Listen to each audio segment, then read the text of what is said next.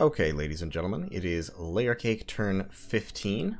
Uh, another message from Raga, once again trying to persuade people to jump on Olm, Bogarus, or Patala, which is fair enough. If I was in his situation, I would absolutely be trying to do this as well. However, I would probably be trying to do it on Discord rather than through the in-game messages. Um, in my opinion, the in-game messages in Dominions are not really useful to anything, for anything. Um, you basically use them to troll and you use them to make people laugh. And that's about all they're really good for. If you want to actually do diplomacy, you have to do it out of game, as sad as it is to say. So we've hit construction level 2. We're going back to alteration. We've summoned 10 Konoha Tengu and 10 Fire Ants. We have searched three provinces for magic sites and not found any. Oh well, it happens. Uh, we got two bad events. Uh, one misfortune and one that drops my sloth and lowers my province resources, which is actually a really bad event if it hits a fort. Fortunately, it was just this province and I don't care about production here, but even so, not great. I completed my palisades in Kamiya, and I completed my rock walls in the Sea of Rond. So I can now recruit Shark Warriors here which I'm going to do. So we've got that underway. We've got a crab general down here. Um, we're going to swap back to recruiting Master Shugenjas instead of regular Shugenjas, since I now have the funds for it. That leaves me 461 gold. That's a little, that's not quite enough gold, especially because over here I also want to be pumping out crossbows and ninjas. So, gonna have to work out how much gold I can, uh, I, I need to save some gold somewhere. So right now I'm at 341 treasury. I'm building that fortress. I would like to upgrade this fortress. I've got a lab here, so I'm going to start recruiting Master Shugenjas. Not starting any other forts just yet. Can Hide move up there? Masatsura could build a temple, which would be 400. But instead, I think I'm just going to have him start calling God. Uh, over here, we're going to call God and call God. So we'll be generating four God points this turn. You can research.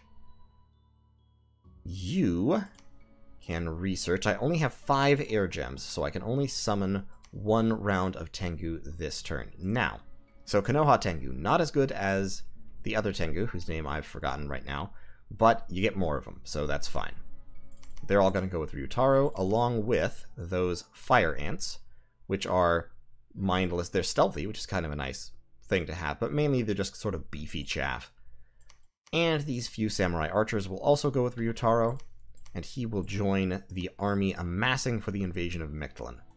Up here, Yoshimitsu is going to try to assassinate an enemy commander. Um, let's set up our army real quick. I only have one actual army commander, so uh, these two guys I'm actually going to leave behind because they'll kind of mess me up. Yeah, the Karasu Tengu. I've got Karasu and Konoha. They're all going to join Makoto's army. Uh, the Yamabushi, yeah, I'm going to leave behind because I want my line up there. You guys are going to hold and attack rear. You are going to hold and fire archers. You'll be back that way. You guys are going to Stone Skin and Earth Meld, which is what you're for. And we're going to dispense these gems a little more evenly. So Mashiro get two from him and get two from him. So everybody has four earth gems and everybody should be on conservative gem usage so they don't spend them until I want them to. Uh, and we'll bring the Yamabushi, we might as well. We'll bring them with him. They'll have a morale penalty and they'll probably rout almost immediately, but that's okay. We're just sort of bringing them to well to die, really. we will have them right up in the front to soak up arrows. So, this army is going to invade Mictlan.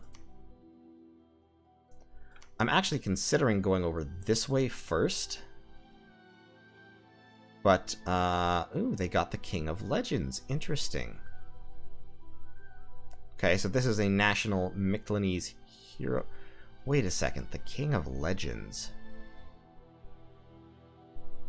They have misfortune three. No, he took luck one. That's right. He was planning to take a luck bless. Okay, so yeah, that's the national hero, the King of Legends. So that's fine. Just fine. Yukimasa, you can also research. So Ryutaro's going to move out with the, those troops. Yeah, we're going to recruit Shark Warriors there and probably also here, I'm thinking. I don't need another Crab General now that I have one, at least not yet. Oh, that's right, I can get two without, um, without throwing my plans out of whack. Down here, we're going to spam out Samurai Archers. And up here, it's going to be Akaoni Samurai. Hmm, we're actually gold limited. What if we made that Go Hatamoto? Could we get one more out? Here we can. Think. One, two, three, four, five, six, seven, eight. Well, probably didn't make a difference. One, two, three, four, five, six, seven. Yeah, it does make a difference. I can get seven versus eight, or I can get 10 Samurai Archers and an Ashigaru. So, okay, we're going to stick with the Samurai Archers for now. Uh, suffering real serious gem shortages right now. I could really, really, uh, I could, I could definitely use some gems. That's right, that was Masashi searching. Hitakazu was searching this province. Um, I've actually got pretty reasonable research right now. Hitakazu, why don't you move up there to search that province and work your way across? Um, yeah, we're going to keep sending people out to search for sites. Like right now, actually. Ooh, Masayasu randomed five paths. Okay, Yukimasa, Konohas, Konohas, Masayasu, move. I would like you and your site searching prowess to make sure I haven't missed anything down here. Tokimichi can patrol for now. I am tempted by the sheer hilarity of empowering a crab general in magic, but we're not going to uh, we're not going to engage in that sort of behavior just yet. Next turn, the fortress will be upgraded. It will take two turns after that point to recruit a Ryujin.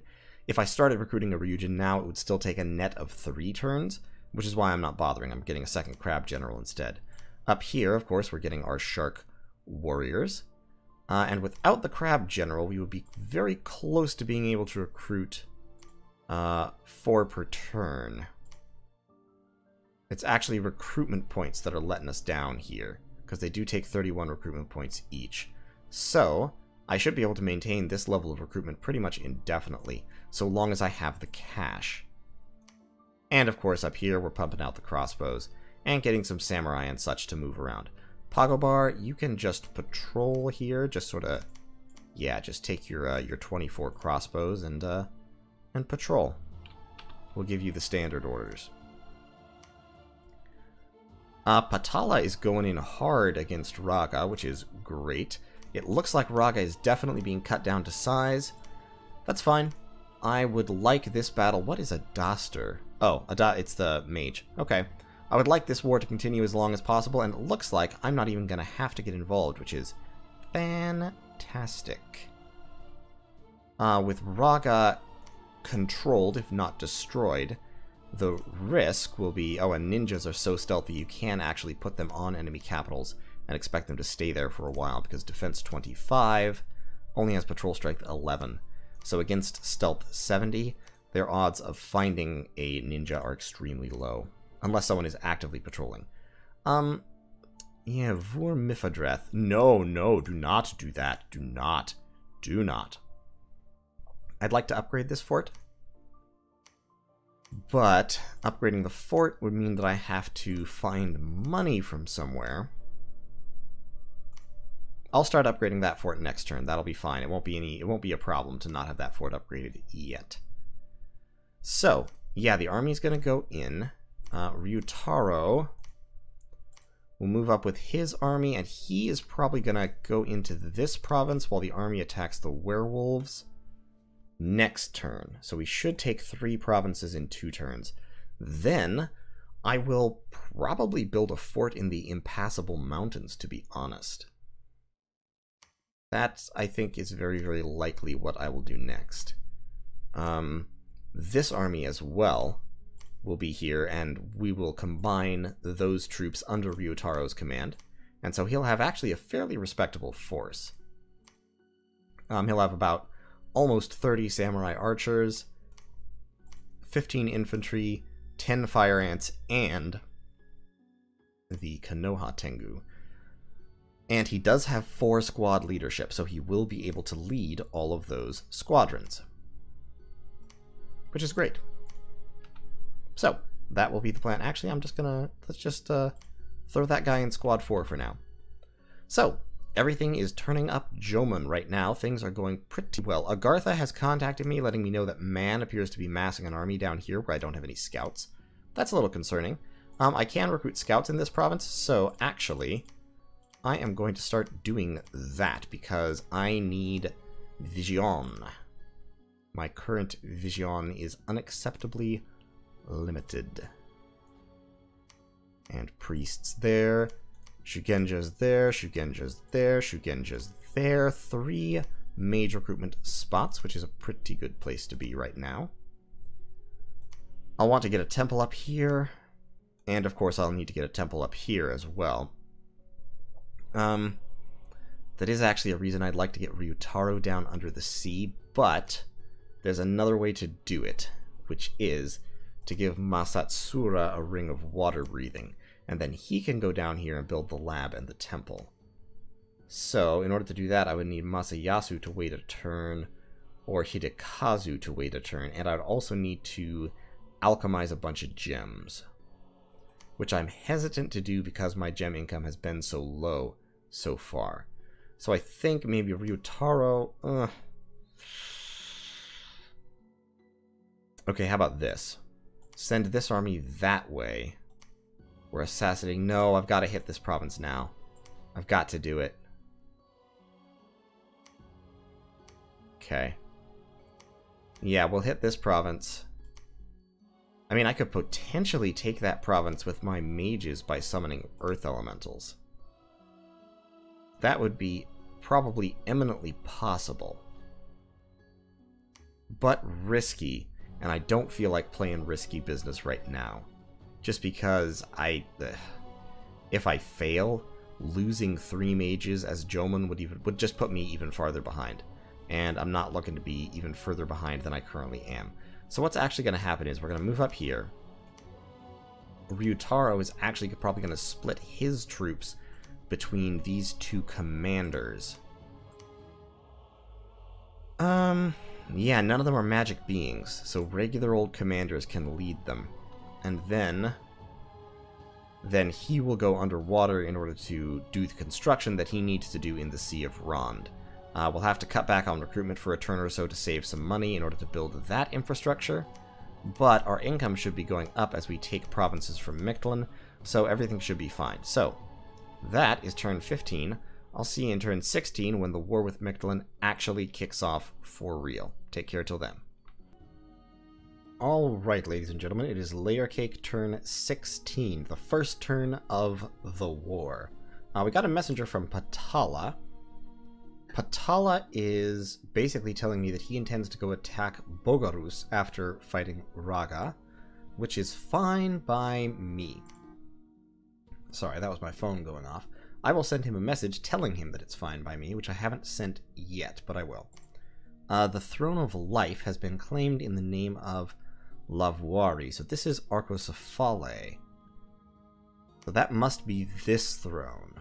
Okay, so Arcoscephale is getting reasonably large. They've got a fort built there. Got some Ajima companions and Cerulean warriors in this province. We're going to keep pushing out our scouts, just to make sure we know what they have. We're also recruiting scouts over here that we are pushing out to make sure we know what man has, and of course, still recruiting scouts in Gwerth. We're also recruiting ninjas in Kamiya. So, Chuimon here will be moving down this way to push into Agartha and see what's going on in that direction. Agartha has just taken this throne with a huge freaking army. This is a big army for this point of the game. In fact, I think this might be pretty much every unit Agartha has recruited. I mean, about 200 units on turn 16 is more than 10 units per turn. and he doesn't have any mercenaries because Patala has hired all the mercenaries. So that has to be most of his recruitment, if not all of it. Which is a little worrisome. It's a little... It, it, it frightens me a little bit to see that all pointed in my direction, but we'll see. Maybe he's not attacking me. Who knows? Maybe he's going to turn around and go fight someone else. It's possible. Uh, in any case, I am committed over in this direction, so we're going to continue on that way. I am recruiting Shark Warriors in the Sea of Rond, and I'm recruiting Ryujin in the Sea of Woe. So my first Ryujin is under construction, will be done in two turns. Excellent. Messages for... Going back to messages. We summoned some Tengus, Marignon has anointed a new prophet, and uh, we tried to assassinate a sun priest here. So my assassination did fire, and it actually worked pretty well, as you'll see. But uh, he cast Holy Avenger, and Holy Avenger is a spell that does damage to people randomly on the battlefield after you are killed. So you can make sure Mictlan's Bless is still just HP plus 2. So this Sun Priest is casting holy spells. He gets hit by a shuriken and routs, with one hit point remaining. And as soon as he routes off the field, watch, what, wait for it, wait for it, boom. Holy Avenger nukes the ninja. So sorry Yoshimitsu, you did your best. And you did remove an enemy mage, which was good before the battle. Then we attacked in the same province. So we've got our little gang of Tengu in the back. We've got a big old line of Akaoni samurai up front. We've got a few archers and three mages. All of whom have earth gems but are not using them. On the other side, We've got some enemy units and also just a bunch of province defense. He invested pretty heavily in province defense on this province, presumably in an effort to prevent me from doing this. So, the Tengu get their lightning in, they score several kills with their lightning, and then they're going to fly to the back. The infantry meet, and with Earth Meld support especially, my infantry are just tearing his infantry to shreds. Mine are so superior. In the back here, my Tengu are taking heavy casualties, but also inflicting heavy casualties. They've routed the archers off the field entirely with their charge, which is exactly what I wanted them to accomplish. However, they are now flying around a little bit. Uh, these warriors are also routed. Unfortunately, they're routing into the Tengus and so inflicting more damage, and my Tengu then rout off the field as the victorious infantry charge across to try to finish off the survivors. So in terms of casualties, that was a really good battle for me. Um, my Akaoni Samurai, of course, just murdered the enemy infantry. Absolutely gutted it. Um, their Jaguar warriors were killed, inflicting only a couple of casualties as they transformed. Their militia inflicted only one and died. The province defense did get a few kills off, mainly on my Tengu. I lost 6 out of 11 Tengu. They did score 30 kills between them, so they killed about 3 people each, which is definitely workable. However, this is the problem with Tengu. They just take so many casualties because their protection is so low. They can't take damage. Uh, missiles in particular murder them. So, um, they did retreat, the remainder of them, and two more died when retreating. So my actual casualties there were 8 for 30, which is, eh, eh maybe not the greatest. In Betane, interestingly, we got to see these Ajima companions and Cerulean warriors, the ape warriors of late age Arcoscephale, go into combat. Um, the Cerulean Warriors are pretty pretty decent, and the Ajima Companions are very, very effective heavy cavalry. Uh, so that was in... where was that? That was right here. Okay, so they just wiped out those barbarians. Fine by me. Uh, I'm out of money again. I'm recruiting not much, to be honest. I'm recruiting no infantry at the moment. I've got my Shark Warriors going. I was saving up... I needed to save the money so that I could start to build this fortress. And I swapped from recruiting Master Shugenjas to regular Shugenjas. I don't have quite enough money to swap back, so instead, I'll take that cash and I'll recruit a few Samurai Archers and one Ashigaru, just to have some kind of recruitment. Ryutaro is moving into the Sea of Rond, uh, where we are going to be working on upgrading this fortress and building a lab and a temple. So we do have more infrastructure spending still coming, unfortunately. It's going to take up a lot of our income. This army, uh, with the fire ants, infantry, and archers, and we'll take these guys along with us too, as chaff. Uh, these guys are all moving into the impassable mountains, which is which are not well defended, so that's great. Mictlan itself appears to be where the enemy is congregating. They do have Mictlantecuhtli, the King of Legends, who, as I said, I believe is a national hero. This army can push forward into those werewolves. I'm pretty sure I can take those werewolves on. I need a little bit of money to kick up the province defense to prevent myself from being scout sniped here, so we're going to kick it up to 6. We'll take that guy back. And otherwise things are going pretty well, unless Agartha rolls in on me with this army. If Agartha rolls this army in, um, I am going to have a bad day. Because this army is big enough that I don't know I can stop it. I have Conjuration, so probably, to be honest, my best bet would be to gather up my Air 1 mages and give them every air gem I can scrape together, potentially alchemizing gems if that's what it takes. And just drop as many lesser air elementals as possible on top of this, this army. Unfortunately, I don't have many. Uh, this fortress is recruiting crossbows, which is useful, but crossbows alone will not.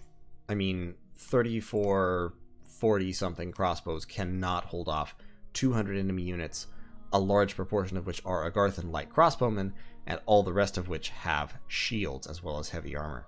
Uh, my crossbows will be relatively effective against that, but not effective enough.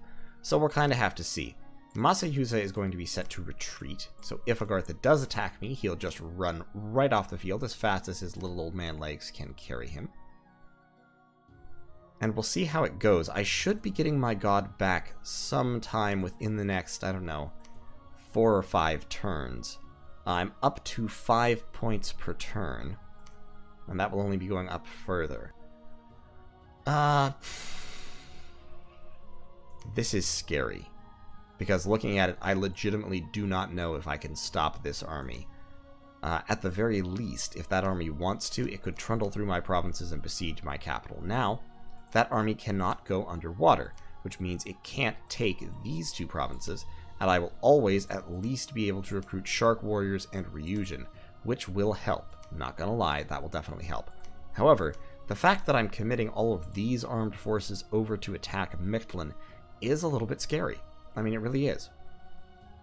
Uh, I don't know that I'm going to be able to win, at least in a timely fashion. And this army has, you know, 90 units or 80 units and this army is another 40. So this is like 120 units. It's, it's a significant force that I'm sending over towards Mictlan. And uh, I don't, I just don't know if it's going to pay off. They only have 200 wall integrity, so these two armies should actually be able to siege them down pretty quick once I get there. Um, that said, I'm not sure I'll want to go in immediately because they do have primarily cap-only sacreds, and I don't think this army will be able to probably take them on head to head because these guys are basically worthless. Samurai archers are good, my infantry are solid, and my um, Tengu, of course, will be useful. I, I took the three Tengu that retreated and put them into this squad. But I, I'm just not sure. We're going to have to play it by ear a little bit. I'm going to get in touch with Agartha, see if he can, see if he'll hold off, if I can get a non-aggression pact or something with him, and we'll proceed to that point. Patala has a really big stack of light bandar archers and war elephants over here. Now, Patalan war elephants are not very good. Somehow, and I don't know how this is, but somehow Raga has a bunch of pale ones. And I'm almost certain that Raga cannot normally recruit pale ones. So I don't know what's going on there. They have a very tough fort. They do have a Zayedin spa bed, as well as six Zayedins here, and I presume other Zayedins elsewhere, although I don't know where exactly. But despite how it looks, assuming he has at least one more squad of Zayedins somewhere, which he really, really should, I would anticipate this army losing if they attacked Raga, just because, you know, 12 to 15 Zayedins would probably tear those elephants apart. Patala's elephants are badly protected and have low morale, So I would anticipate that would be a much more even fight than it looks. I don't have the money to be upgrading both forts this turn. In fact, I really don't quite have the money to be upgrading this one, except I desperately need to upgrade it because I need the extra wall integrity in case Agartha decides to attack me. Um, I'm actually going to keep my ninja here. And the reason is, I'm going to keep him here so that if this Agarthan army attacks, I can set him to assassinate and send him in to try and kill one of their commanders in support of that, I am going to forge him some armor. And I'm considering forging him a Kithaironic Lion Pelt. His chainmail cuirass has 12 protection, but doesn't provide any protection to the head. The Kithaironic Lion Pelt would increase his protection, including giving him head protection, and it's cheap, and it would not lower his defense. Lowers his defense by minus 1, has an encumbrance penalty of 1, so yeah, it wouldn't hurt him beyond what the chainmail cuirass already does. The other option would be to forge him a uh, black steel plate, which would give him more body protection, but also more encumbrance. Oh boy. Yeah, the Berserker pelt wouldn't help at all. And I also want to give him a weapon, if at all possible. Uh, partially because a weapon will remove, especially a two-handed weapon, would remove his shuriken, and so make him just go into melee, which would be useful. Uh, to be honest, the gloves of the gladiator might be handy. They're too expensive, though, but giving him four attacks would make him quite effective in melee. Uh, too expensive. Uh, the Just Man's Cross wouldn't actually be a terrible decision. Uh, the Lightning Rod would be a terrible decision. Thorn Staff gives him defense 5. But only one attack. Uh, the Great Sword of Sharpness is kind of the classic murder one guy weapon.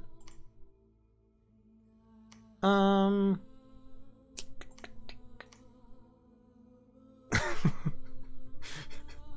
Giving him a Scepter of Authority would be kind of hilarious because it would mean he could just set his target on fire from range.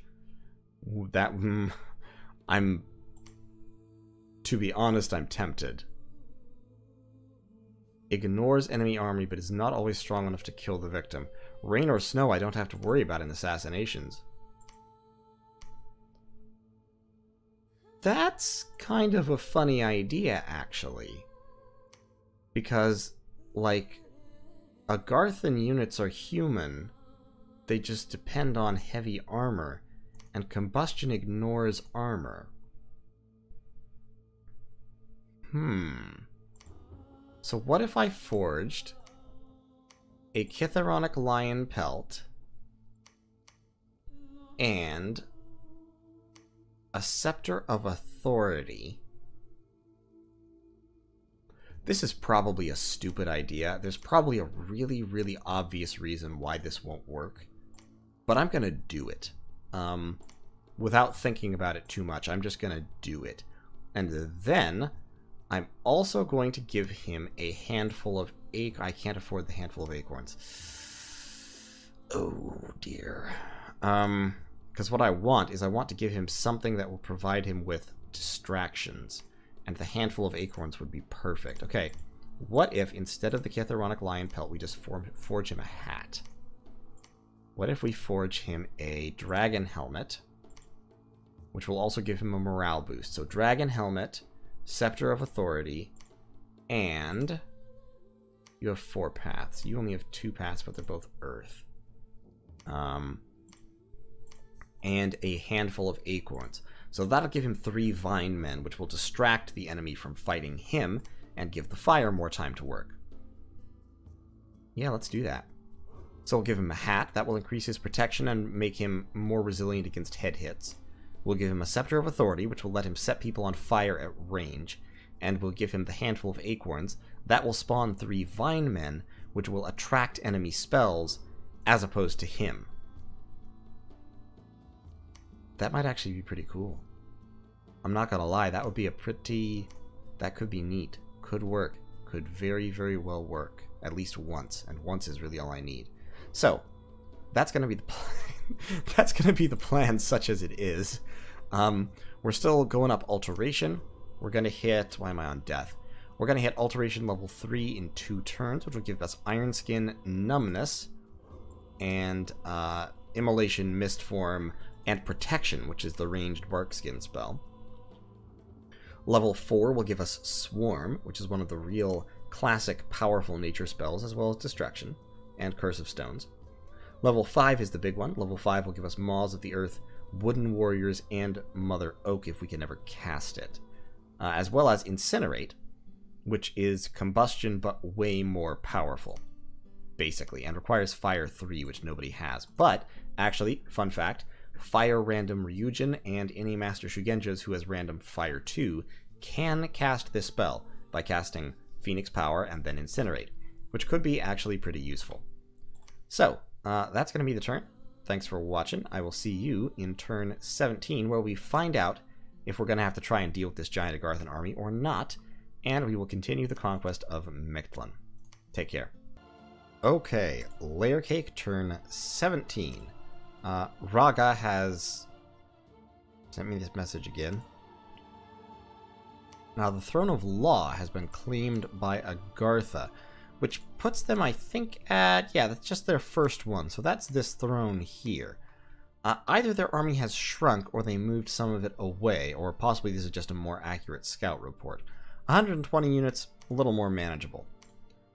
Uh, there was a battle in Oaklands, where my forces took out these werewolves. It was a pretty boring battle, to be honest. We pretty much just walked forward and killed them. Uh, werewolves are not scary to Akaoni samurai. Werewolves are basically like transformed jaguar warriors, were jaguars. They have three attacks, they regenerate, they're stealthy. Uh, they're beast masters, oddly enough, or at least that one is. Yeah, I think they're all, they all have the beastmaster trait.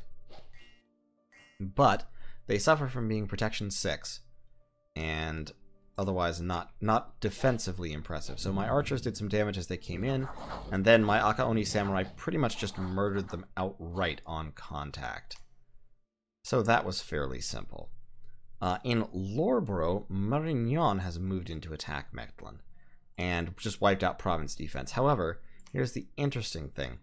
Behind them, Patala's Earth Serpent moved into a province that they didn't have to move through because Marignon can sail, but this field right here has been taken by Patala's god, Re the Earth Serpent, who fought and killed my Earth Serpent several turns ago, way over on this end of Patala's territory.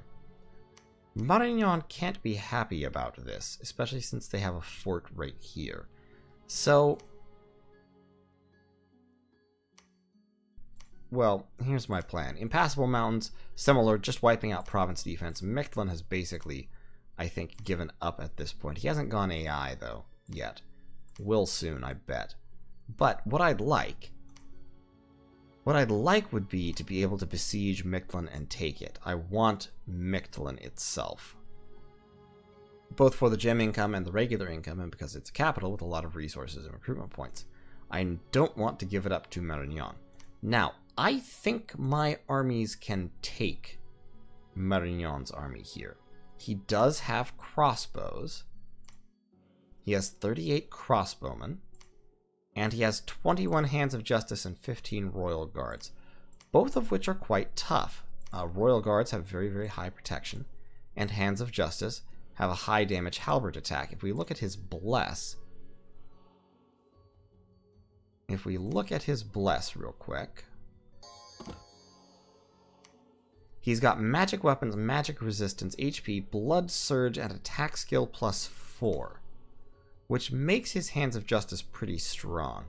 Um, that said, right now they're attacking at 14 and doing 23 damage with their halberds, with protection 14 and defense skill 11 after their bless.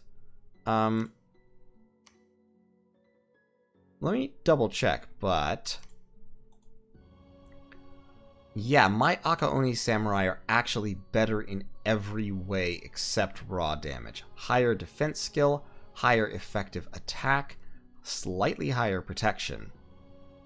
Um, if Akaoni Samurai go up against Hands of Justice one-on-one, -on -one, I think the Aka Oni actually win.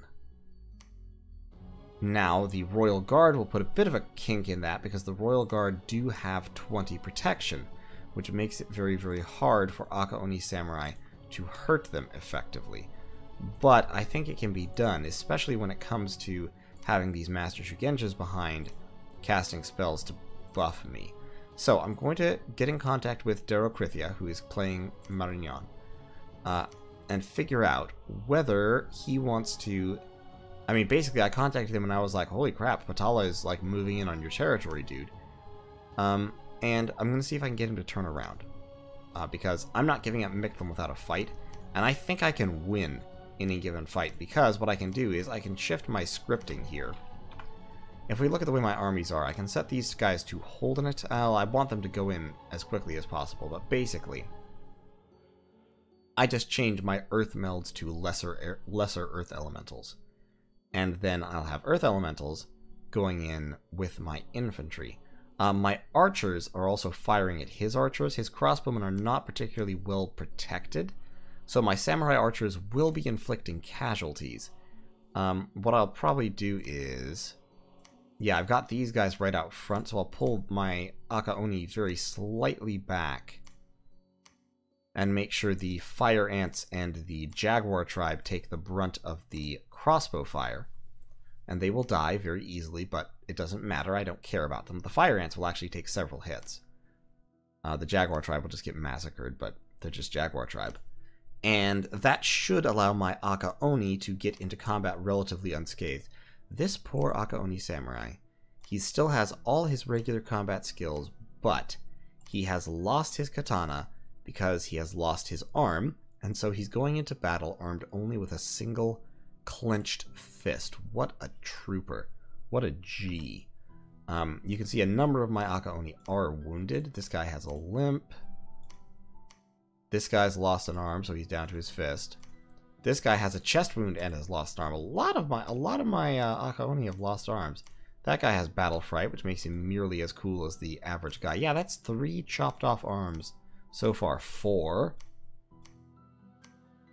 Yeah, of my one, two, three, four, five, six, seven, eight, of my eight wounded samurai, fully half have lost an arm.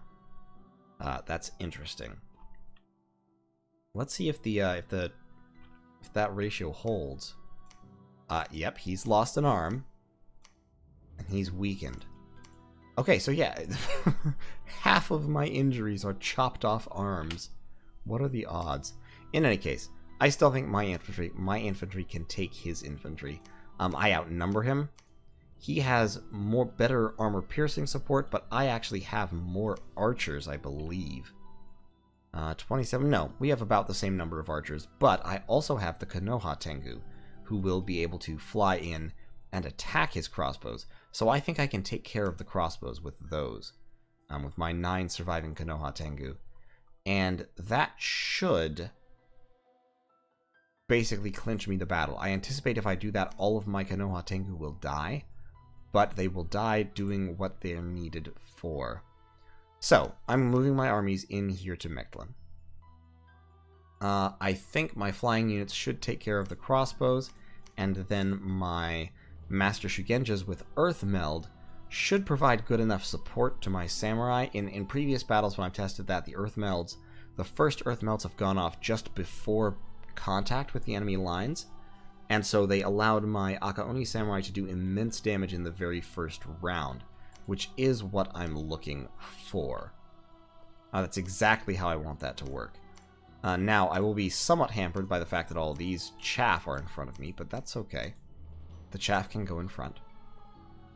And that should win me the battle. Now, I don't want to fight Marignon because beating Marignon might cost me enough casualties that I'll have a hard time dealing with this nonsense. They've got the King of Legends in there, who I, if I recall correctly, is a Death Blood Mage. They've got Eagle Warriors, who when blessed can fly. They've got Jaguar Warriors, who of course are Jaguars. Eh, eh, it's gonna be, it's not gonna be super, super easy to take this fort. Especially because I'm only gonna have 46 I'm only gonna have I'm only gonna have less than 150 siege strength at first, so I'm gonna have to send more troops. Speaking of more troops, I have actually stopped recruiting Shark Warriors just because I needed the cash. With all the recruitment I've been doing, I just don't have the money to get the things that I want to get done done. So I'm up started upgrading this fortress. Um, I'm building a lab here and upgrading this fortress in Kamiya. That'll be done this turn. Um, I got a terrible random event this turn in Kamiya, plus unrest, minus population, and then on top of that, another 1,600 people left, reducing Kamiya down below 10,000 in population, and it means that I can only recruit 5 crossbows per turn until I upgrade my fort. I run out of resources, um, which is super incredibly frustrating. Uh, once I upgrade that, I'll be getting a few more resources from Oak Halls so I may be able to recruit six or seven crossbows a turn, but still, that's not many crossbows. Not as many crossbows as I would like. Also, because I have no lab, I can't actually equip either of these ninjas with that ninja equipment that I forged last turn. So, oops, that was an oversight. We'll get that fixed. Uh, once again, I'm recruiting regular Shugenjas to save money. I've, I'm not recruiting a Master Shugenja here this turn. Once I get the lab here, I'm upgrading that fortress. Next turn, I'll start building either the lab or the temple, and the turn after, I'll build the other one. Uh, next turn, I will also have my first Ryujin. Yay! That will be so much fun. And we'll see what happens there. I have been told that man is attacking Ulm, which from my perspective is fine. By all means, kill Ulm, let Ulm die, and go away. Um, there's been some kind of technical difficulties, I think, that have really hurt Atlantis, so Atlantis has staled at least once. And, um, that's also fine by me, because it means they're not expanding very rapidly, which is kind of what I want. Um, if Atlantis takes their whole ocean here, and here, and here, and here, that's okay. I won't complain about it. I will eventually have to fight them, but we will see how that goes at some later date. For now, we're just recruiting very little, honestly, because all of our money is going towards infrastructure. And working, of course, on research. We'll hit alteration level 3 next turn. Should hit level 4 just a couple turns after that, which will give us a lot of cool things. Wind Guide, Temper Flesh, Destruction, etc. Swarm. Swarm is a big one. And after that, it'll take a few turns to hit level 5, because level 5 if I recall correctly, level 3 is 400 research points, level 4 is 700, level 5 is 1300. So at 124 research points per month, it'll take us a little while. in fact, to hit level 4 will probably take us like 3 or 4 turns. And then level 5 will be another 4 or 5 turns after that. But in any case, uh, we're doing all right so far. Patala has besieged Ragha it's an interesting battle mainly because of what it doesn't have. So Patala has hired literally every mercenary in the game. They've got Hannibal's war elephants to bolster their own war elephants. They've got a line of their sacreds, the Naga warriors, with this hypnotize attack. And they've got a line of light Bandar archers providing arrow support. On the other side, this is just Ragha's province defense. They don't have any actual units here. And so, we get to see elephants function in the ideal circumstance for elephants, that is, massed and faced with only trampleable infantry. And they go to town. 25 war elephants stomp out over a hundred enemy infantry in a very short period of time. Even then, the damage inflicted by the arrows and javelins causes three of them to trample back through their own lines, and they do inflict some damage. Uh, very minor damage overall, but still damage. They, they hurt a couple of these Nagas to one degree or another. But... I mean, this kind of speaks for itself. The the war elephants, this is exactly where war elephants want to be, exactly what they want to be doing, and they just ran right over the enemy without a qualm or a pause. While the uh, the Paigans and the Turan infantry just sort of did what they could, which wasn't much. I don't know where the Zayedans are. Where are they? Like, why would they not be here? I mean, 10 or 12 Zayedans could have turned that around, in my opinion. But in any case, Ragha is now under siege. He still has quite a few provinces, but with his only fort under siege, assuming he doesn't have another fort, which he might, um, with his capital under siege, he's going to find it hard to derive income, and of course, he can't recruit any of his capital only units while his capital is under siege. So this might be the death knell for Ragha, which would be a little bit worrisome. I would find it a little bit worrisome personally. But we'll see what develops. Um, I'm busy with Mictlan. Ragha and uh, Patala are doing their own thing. Ulm is now apparently fighting Man. Bogarus up here is doing something or other with their lives. Hopefully not uh, researching blood magic. That would be very worrisome. And I'm actually doing fine. I'm doing okay. Uh, it's turn 17. I have 1, 2, 3, 4, 5, 6, 7, 8, 9, 10, 11, 12, 13, 14, 15 provinces, which is better than I had been afraid I would do. And we'll see what develops next turn. Thanks for watching. I'll see you in turn 18.